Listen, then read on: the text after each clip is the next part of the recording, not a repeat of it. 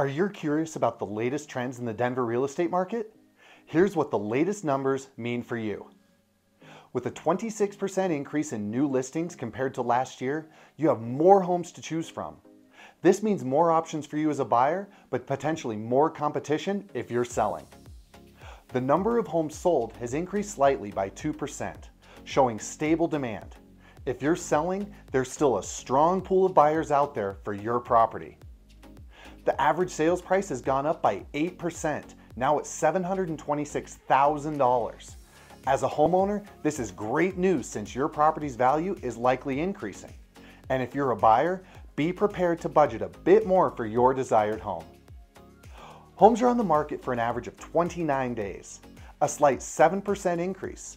This gives you more time to make decisions as a buyer. And if you're selling, you might need to be patient and ensure your property is competitively priced. So what does this mean for you? For buyers, you have more homes to choose from, which can reduce the pressure to rush decisions. However, be prepared for higher prices and make sure your budget can accommodate the rising costs. For sellers, while there are more homes on the market, the demand remains strong, and your home's value is likely appreciating. Be mindful that homes are taking a bit longer to sell, so pricing your property right and being patient is key. If you like this content, don't forget to like, share, and subscribe for more real estate insights. I'm John Grandt with the North Star team at Compass. I'll see you next time.